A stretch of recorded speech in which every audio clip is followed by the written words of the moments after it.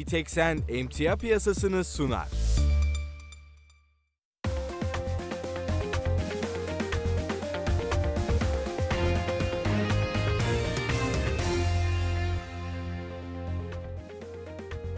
Günler değerli izleyiciler. Türkiye'nin ekonomi televizyonu Ekotürk TV'de ben Cenk Akyoldaş emtia piyasası programıyla sizlerle beraberim. Son gelişmeleri değerlendireceğiz. Birazcık toparlanma gelmeye çalışıyor. Hangi tarafta? Kıymetli metaller tarafında. Sebebine arkasında yatan faktör. DXY'de geri çekiliş var. Tahvillerde biraz geri çekilme durulsa da e, özellikle de dünkü gelen haber başları raporlarda şunu görüyoruz. Eylül'de Fed'in biraz soluklanma yapma ihtimalinin artık tartışılmaya başlandığına yönelik raporları görüyoruz. Bu da biraz daha soluklanma getirdiğiniz belirtebiliriz. Öte yandan dönüp baktığımızda e, petrol tarafında hala güçlü seyir var. Özellikle Avrupa Birliği tarafından acaba Rusya'ya yaptırımlar gelebilecek mi e, noktasında e, tamamen petrol alımını kesecek mi noktasındaki beklentiler haiz. Ama öte yandan buna konuda da Macaristan'ın açıklamaları geldiğini 3,5-4 yıl benim e, muhtacım diyor e, Rus petrolüne. Bu noktada bakalım bir uzlaşı sağlanabilecek mi?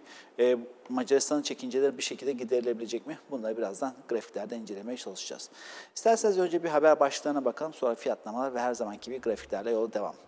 ABD Dışişleri Bakanı Blinken'dan Çin'e mesaj. ABD Dışişleri Bakanı Antony Blinken, küresel sorunların çözümünde Pekin ile çalışmaları gerektiğini, ancak Çin yönetiminin artan agresifliği karşısında uluslararası sistemi korumaya kararlı olduklarını da belirtti. Biz çatışma veya yeni bir soğuk savaş peşinde değiliz, aksine bunlardan kaçınmaya kararlıyız açıklamasında bulundu. Bank of America, FED Eylül'de sıkılaştırma politikasına ara verebilir dedi. Bank of America stratejistleri ABD Merkez Bankası'nın Mayıs ayı politika toplantısının tutanaklarının yayınlanmasının bir gün sonrasında Fed'in ekonomik bir bozulma olması ve enflasyon düşmesi halinde Eylül ayında para politikası sıkılaştırmasını durdurabileceği söylendi. Burada 1.75-2 bandında faizlerin bir süre soluklanması beklentisi haiz olmaya başladı. Macaristan Rus petrolünden 4 yıl daha uzaklaşabilir. Macaristan'ın Rus ham petrolünden uzaklaşması ve ekonomisini ayarlamak için büyük bir yaptırımlar yapması için 3,5 yıla ila 4 yıla ihtiyacı olduğu ve tüm konularda bir anlaşma sağlanana kadar Avrupa Birliği'nin önerdiği petrol ambargosunu destekleyemeyeceğini bildirdi. Putin yaptırımlar kaldırılırsa gıda krizi çözülebilir açıklamasında bulundu.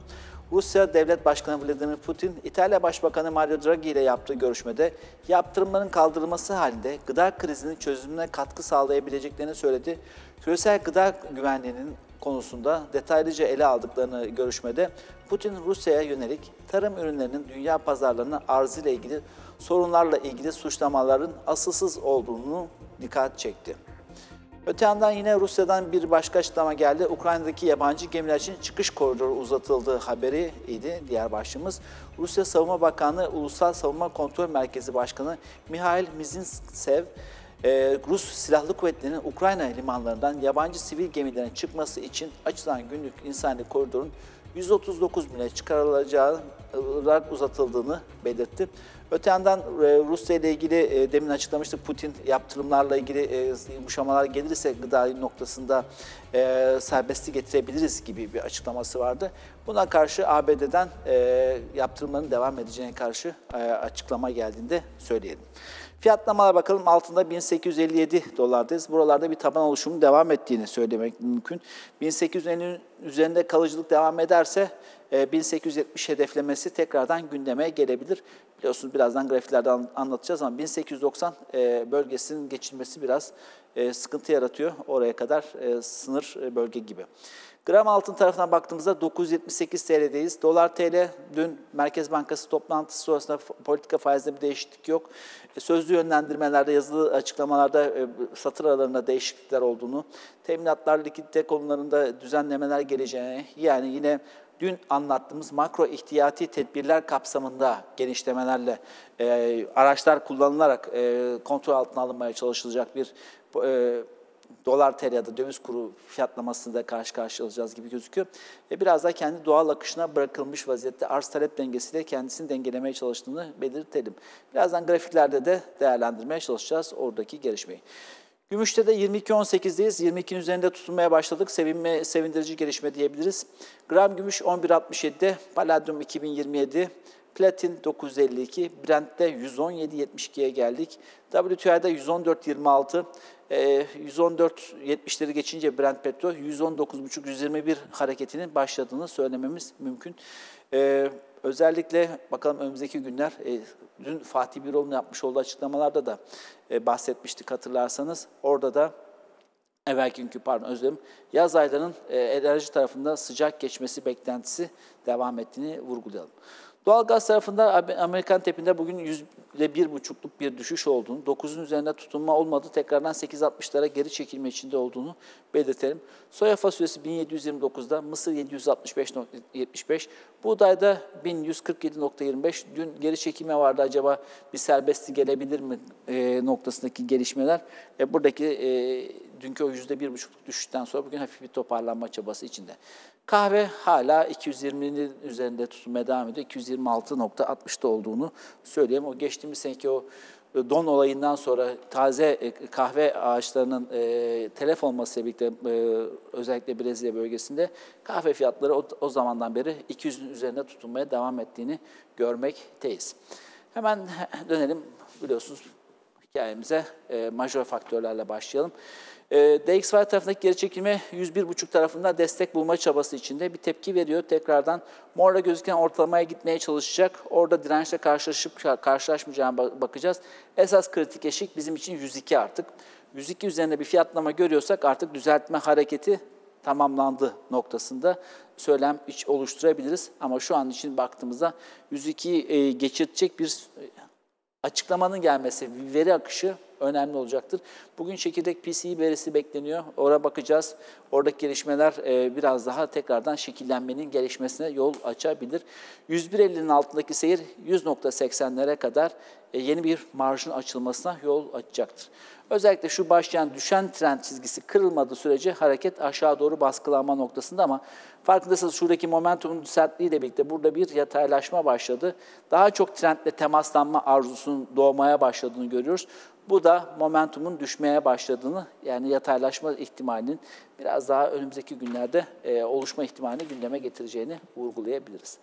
Peki e, uzun vadeli yapı ne söylüyordu burada? Uzun vadeli yapıya baktığım zaman buradaki geri çekilmede de şu bölgede karşı karşıyayız. Özellikle de 105 e, sınırından başlayan geri çekilme hareketinin alt sınır bölgesi 101 bölgesi diyorduk. Tam da o bölgede geldik, tutunmaya çalışıyoruz. E, ilk de destek noktası burası. Bu bölgenin altındaki fiyatlamalar FIBO açısından baktığımız zaman 99-60'lara kadar 100 99-60-100 aralığına kadar bir marjın açılması durumu getirebilir.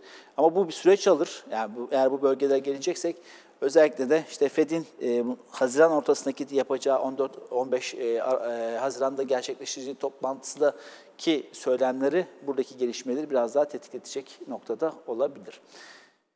Hemen dönelim tekrardan tahvil piyasasındaki gelişmelere kısaca bir göz atalım. Tahvildeki yapıda ne var? 10 yıllık tahvilde e, hafif hafif böyle 2.70 seviyesinde bir do, dip oluşma ihtimalinin gündeme geldiğini söylemek mümkün. Kısa vadeli ortalamalar bir sat sinyali üretti. 8 ve 21 barlık ortalamalar. Bu bölgenin üzerine bir fiyatlama yani 2.84 üzerinde fiyatlama gelmediği sürece aşağı doğru yani tahvil piyasasının girişlerin devam etmesi beklenebilir. 4 gündür e, ciddi girişler vardı. Bugün biraz sakinleşme bekle gör politikasına geçmiş gibi gözüküyor maviyle gözüken ortalama ana or, e, ortalama konumunda olduğunu, en son e, bir alttaki 2.40'da bulunan kırmızıda gözüken ortalama ise uzun vadeli yani 100 günlük ortalamadır bu. 100 günlük ortalamayla en son ne zaman temaslanmıştık? Mart ayı içinde olduğunu belirtelim yaklaşık olarak e, Mart'ın başı özellikle de bu Rusya-Ukrayna gerginliği başladı. Rusya'nın e, Ukrayna'yı işgal döneminde güvenli liman arayışıyla birlikte bir anda kendisini o bölgeye kadar sert bir şekilde çekmişti ama sonrasında da çok hızlı bir rally yaşandığını da gördük. Hatırlarsanız daha önceki söylemlerimizde şu bölgede, şu bölgede uzak doğulu fonlardan tahvil satışları geldiğini duymuştuk. Özellikle de Japon tarafı, Japonya tarafından 60 milyar dolarlık bir e, fondan satış geldiğini duymuştuk. E, o bölgeden sonra iş resim değişmeye başladı. Benzer bir hikaye geçtiğimiz sene Haziran döneminde de yaşamıştık. Orada da 1.50-1.60 bandındaydı. O bölgede de bir 50 milyar dolar civarında e, uzak doğulu fonlardan çıkış yaşandığı bilgisi oluşmuştu. Peşinden 1.30'lar hatta 1.20'lere kadar inen tahvil piyasasıyla karşı karşıya kalmıştık. Faizlerin aşağı inmesi alınan bonlarda bir kar yazılmasına yol açtığı için böyle bir süreç. Şimdi burada da benzer bir hikaye fiyatlanıyor olabilir. Ee, süreç e, dediğim gibi söylemlerde de bir anda değişmeye başladı. Bostik'le başlayan söylem değişikliği, Eylül'le atıfta bulunmasıyla birlikte başlayan süreç tutanklarla birlikte raporlara da yansımaya başladığını görmekteyiz. Peki bu bilgiler dışında dolar TL'ye dönelim tekrardan bakalım. Dolar TL'deki hareket e, sabahleyin anlatmaya çalıştım ama bir kez daha üzerinden çekelim, e, geçelim. E, bu büyük dalga hareketten kur korumalı mevduat geçişten sonraki ilk tepe noktasıyla bir sonraki tepe noktası arasındaki sürece baktığımızda yaklaşık 49 günlük bir hareket yapmış. Yani kur korumalı mevduatta dalgalar var. Bu birinci dalga gibi değerlendirmek lazım. E, bu dalgaya baktığımızda 49 günde %7.75'lik bir prim gerçekleştirmiş dolar TL'ye karşı. Peki dönelim ikinci faza bakalım. İkinci faz 14.99-15 seviyesinden başlayan hareket, 14.99'dan e, başlayan hareket 16-16 bölgesine gittiğini varsaysak yine benzer performans 52 gün gibi bir süre zarfında gerçekleşmiş. O da 7.81. Burası da hemen hemen işte 16-20 bölgesine yakın bir bölge olduğunu, 16-20'nin üzerindeki hareketin bu bir ikinci dalgadan sonra bu üçüncü dalga hareketinin başlangıç noktası olarak adlandıracağımız bölgeyi teşkil edebilecek mi, edemeyecek mi ona bakacağız. Eğer üçüncü başlangıç noktası bu bölge olacaksa buralarda bir yerde bir tepe oluşması, sonra bir yataylaşma, trend dönüşü, sonra peşinden benzer bir harekette yukarı. Ee, birinci faz, ikinci faz gibi değerlendirmeli. O nedenle ben 16.50, 16.65, 16.70 bu bandı önemsediğimi vurgulamak istiyorum. Ee, bu bölge e, kısa vade için bir düzeltme döneminin açabilecek bir yapı olabilir. E, bakalım e, nasıl bir gelişme olacak. Tabii e, bunun içinde bir haber akışının gelmesi lazım. Bir faktör giriş, girdisinin olması lazım ki mevcut şu noktadaki son e, 14.75'lerden başlayan hareketin ivmesini kırdıracak bir gelişme ihtiyaç olduğunu da belirtelim. E, onu da şöyle söylemiştik hatırlarsanız. Uzun vadeli grafik bize pivot çizgimiz olan pembenin üzerindeki hareketlerde bu tür aksiyonlar alındığını söylüyordu. E, şu an içinde e, o bölgenin üzerinde olduğumuzu görüyoruz. O nedenle böyle bir beklenti içine girmiş vaziyette piyasa diyebiliriz. Çeşitli e, haber başlıkları da sürekli gündeme düştüğünde hatırlatalım. Hemen dönelim Refinitiv'in çekirdek emtia endeksine bakalım. Buradaki güçlenme petrol tarafında hatırlarsanız geçen gün 316'ya bir çizgi çizmiştik. 316'nın üzerine geçemiyor noktasındaydı. Ama petroldeki gelen hareketlenmeyle birlikte 316 eşiği aşıldı. Şu anda hedef 326. Yani 316 326 arası 10 yani %3'lük bir yukarı marjdan bahsedebiliyorduk. Buradaki benzer bir hikayede neydi? 115 sınırı petrol için önemliydi. 120'ye gidebilir. 115-120 arası da yaklaşık %3,5-%4 civarında bir e, hareket marjı yaratıyor. İşte buradaki hareket marjı da genellikle petrol tarafından gelmeye devam ettiğini gösteriyor. Altın tarafına dönelim. Altın ETF'lerinde nasıl bir durum var? 71.8 milyondayız. 133 bin onsluk bir artış kaydetmiş. Çok minimal, büyük bir değişim gerçekleşmediğini vurgulayabilirim. Peki haftalık grafiğe bakalım. Haftalık grafiğe baktığımız zaman karşımıza çıkan gelişmeler ne söylüyor? Bir kere 1948'in üzerine bu haftayı muhakkak kapatmamız lazım. Şu anda neredeyiz? 1858'deyiz. 1848'in üzerindeki kapanış e, bize biraz daha cesaretlendirme, en azından 1810 bölgesinde bir taban arayışının oluşması ihtimali gündeme getirecektir. Aşağılarına sarkması oldu ama e, gene de e, orası bizim ana taşıyıcı noktamız olduğunu belirtelim. Şimdi bundan sonraki kovalayacağımız yer 1871. Aşıp aşamayacağımızı yakından takip edeceğiz. Bugün gelecek olan veri de önemli. O veri sonrasında bakalım nasıl bir karakteristik özellik gösterecek diyelim. Ee, eğer bir yeni ataklanma gelebilirse yukarı doğru o takdirde 1871 birinci direnç ve daha sonrasında 1882-1893 arası bizim katastrofik aşılması zor kuvvetli direnç aralığımız olarak görmekteyim. O bölge, işte grafik söylüyorum ikiye ayırmak lazım. Ortalamanın üzerindeki bölge, ortalamanın altındaki bölge. Bu bölgeyi ölçtüğümüz zaman bu bölgede de benzer bir hareketin yaşanması lazım. Bu bize Haziran'ın ortasına kadar bizim e, normal koşullarda 1890 bölgesinin üzerine yani FED toplantısına kadar e, biraz daha buralarda takılma ihtimalinizi gündemde tuttuğunu belirtmek isterim. O FED orada biraz daha yumuşak sinyal üretmeye başlar ise burası da biraz daha rahatlama e, ihtimali gündeme getirir. Ons altının günlük grafiğe bakalım. Günlük grafik tarafındaki gelişmeye ne söylüyor? 8 günlük ortalamanın üzerinde kalmaya devam ediyoruz. Sevindirici gelişme. Birinci aşama. İkinci sevindirici aşama nedir? E, baktığımız zaman 8 barlık ve 200 barlık, 21 barlık ve 200 barlık ortalamayla temaslanıyoruz. Onu geçmeye çalışıyoruz. Bir kez daha, bir tur daha deniyoruz. Eğer bugün kapanış veri sonrasında, yani gelecek olan PC verisi sonrasında eğer biz 1858'in üzerinde kalabilirsek 1867-1870 aralığında biz test etmek isteyeceğizdir. O bölge yine biz biraz patinaj yaratabilir. Son 5 iş gününde iki kez test etmişiz o bölgeyi ama üzerine geçememişiz. Normal koşullarda bu geri çekilmeden sonra bir tur daha gidiyorsak e, bizim o bölgenin üzerine taşınıyor olmamız gerekir. Ama hemen peşinden oraya geçtik mi iş bitiyor mu? Hayır bitmiyor. Hemen peşinden 1878-1881'de iki tane önemli ortalamamız mevcut. Bir tanesi 50 günlük ortalama, diğeri de 100 günlük ortalama. E, onları da orası da ikinci bir direnç noktası olacaktır. Ne zaman biz burada ölçtüğümüz, tarttığımız ağırlıklı ortalamaların üzerinde bir fiyatlama görürüz. O zaman satış baskısı üzerinden kurtulmuş bir altın piyasasıyla karşı karşıyayız diyebiliriz. Bu gerçekleşmediği sürece hala fiyatların baskılanmasıyla karşı karşıya kalınabilir. Buradaki normalde baktığımız zaman 1998-1786 hareketin hedefi 1917. E, normal koşullarda bizim kademe kademe kademe kademe o bölgeye kadar gitmemiz gerekir. Ama zaten o da düşen trendi de işaret ettiğini hatırlatalım. Ne zaman biz şu düşen trendin üzerine çıkarsak resim o zaman buradan bu tarafa doğru evrilecek. Simetrisi oluşması durumuyla karşı karşıya kalabiliriz. O da bize bir çanak formasyonunun oluşma ihtimalini biz gündeme getir. O da e, tekrardan biraz daha ileri bir periyot. E, şu zirveyle, bu bölgenin ölçümüne baktığınız zaman burasının orta nokta gibi değerlendirdiğimiz takdirde e, yaklaşık olarak e, Mayıs'ın ortası gibi gör, 16-15'i gibi görmüşüz. E, buradaki zirveyi de Mart başında gördüğümüzü düşünürsek e, iki, iki buçuk aylık bir periyoda işaret eder tekrardan bizim o bölgelere toparlanma sürecimiz olası bir simetrik hareketin oluşma durumunda. Bu böyle buraya gidip, buradan tekrar gelip bir ikili dip oluşturup ondan sonra bir gelişim, girişim yapabilir. Bu da bir başka senaryo olarak karşımıza çıktığını belirtelim.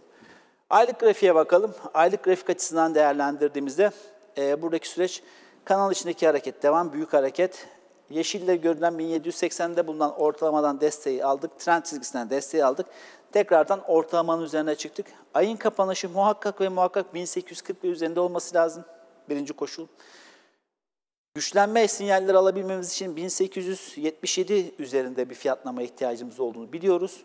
Ama daha da iş resmin kuvvetlendi diyebilmemiz için de 1920 ve üzerinde fiyatlama şart olduğunu hep belirtiyorum.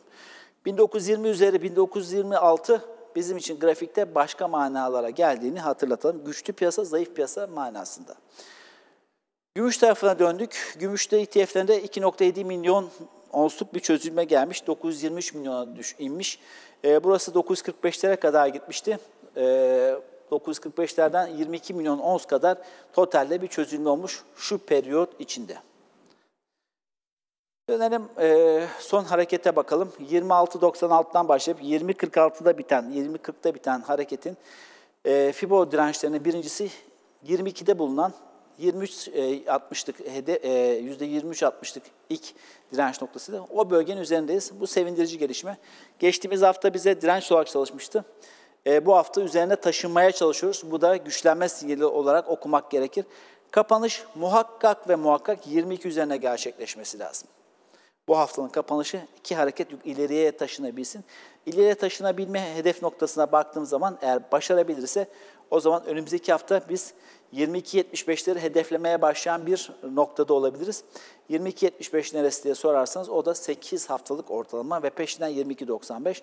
Burası da yine e, baktığımız zaman aslında resim olarak ya, bir seneden fazlalık bir periyot içinde biz hatta neredeyse 2 seneye yayılmak üzere olduğunuzu hatırlatalım.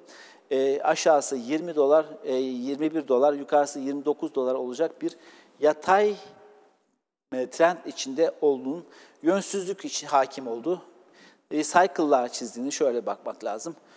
Zirve oluştuktan sonra böyle farkındaysanız sinüs eğrileri çizermiş gibi dalga boyları aşağı doğru baskılanmakta. Tepeler aşağı doğru oluşmakta. Şurada biraz umutlanmıştık. Acaba yukarı doğru gidebiliyor muyuz, tepe aşabiliyor muyuz diye hemen 3-4 e, hafta içinde resmi terse çevirdiklerini söyleyelim.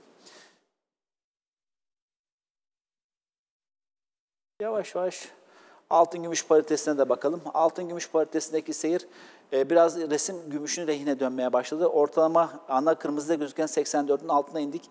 Burada bir konsolidasyon sıkışma bölgesi içindeydi. 85-20'yi denedi, olmadı, geri geldi. Şimdi 83'te bulunan e, FIBO'ya doğru hareketlenme çerçevesinde hareket ettiğini söyleyelim. Biraz aşırı satılmıştı son dönemlerde. Çok sert hareket yaptı. 76-90 hareketi neredeyse gerçekleştirdi. E şimdi onun tersinin gündemde olduğunu söyleyelim. Özellikle de baktığımız zaman altın fiyatı düşmeden e, belki ortalamalara doğru yakınlaşan bir gümüşle, 22-70'de denemek isteyen bir gümüşle karşı karşıya kalabiliriz. Doğal gaz tarafına döndüğümüzde 8.60'ın üzerine tutulmaya devam ediyoruz. Baktığımız zaman son 4 haftanın 3'ünde 8.60'da temaslanmışız. Hatta bu hafta bakalım 8.60'ın üzerine kapatabilecek miyiz? Hala diri bir piyasa hakim olduğunu görmekteyiz. Petrol tarafına dönelim. Amerikan ham tipine baktığımız zaman dün ilk e, önemli direnç bölgesi olan e, 111.84'ün üzerine atınca hareket ivme kazandı. Ortalamalardan destek aldı. Morla gözüken ortalama bizi taşıdığını söyleyebiliriz. Bundan sonraki süreçte 116 116 25 bölgesi dikkat edilmeli. 116 116 25 bölgesi geçilmesi yeni bir para, e, parametre açar. O zaman bize şöyle bir 6 dolarlık daha yeni bir marj oluşturacağını hatırlatalım. Güçlenme çabası var, devam ediyor petrol tarafında.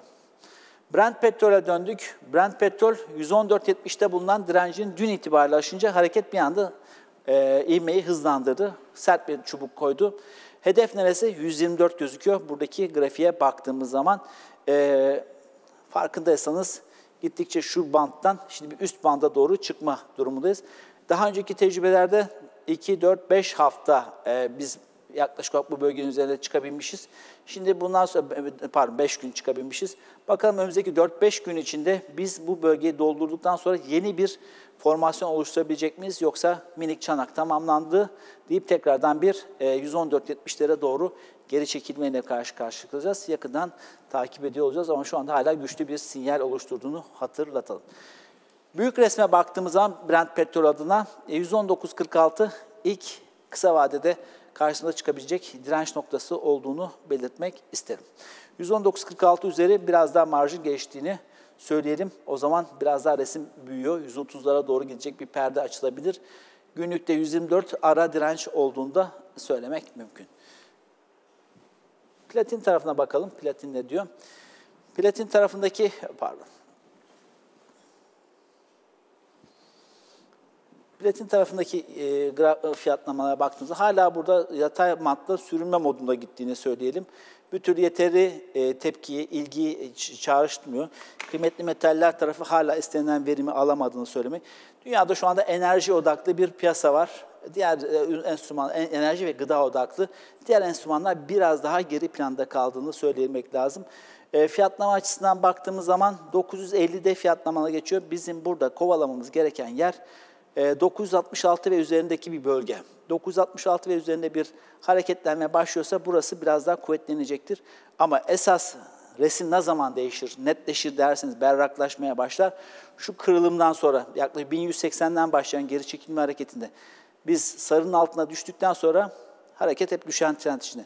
Tekrardan sarıyla gözüken 986'da bulunan ortalamanın üzerine çıkabilir ve üzerinde tepinmeye başlar isek, kalmaya başlar isek e, Platin'de de yine e, güzel günlerin habercisi olacaktır. Şu an için o bölgeden uzaktayız. Efendim bugün de biz ayrılan sürenin sonuna geldik. Bir başka yayında tekrar görüşmek üzere. Herkese bol kazançlı günler. Hoşçakalın.